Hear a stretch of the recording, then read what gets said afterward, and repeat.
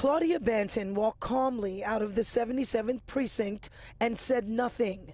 Police say the same way she walked calmly back to her car after shooting Delia Johnson point blank in her head. The execution style murder was caught on surveillance video, and the motive for the killing is still unclear, even to Johnson's family, who was inside the courtroom for Banton's arraignment. It's a hard road. It's very hard.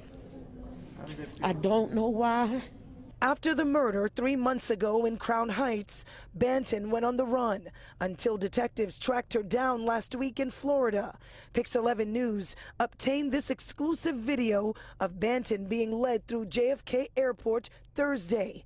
She's in shackles, and sources say she hasn't said a word to detectives or showed any remorse something Johnson's mother can't believe because her daughter and Banton were once friends.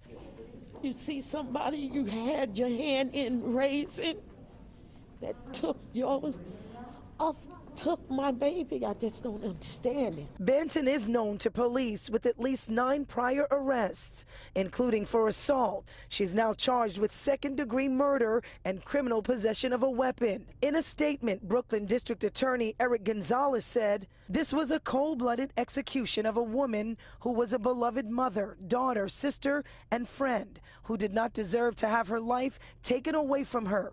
The defendant has now been apprehended, and we will seek to bring her to justice for this senseless and tragic killing. As far as how Johnson's mother feels now that Banton is behind bars, Better than I felt in a long time. I just got to keep praying because that's all I can do. That's all I can do.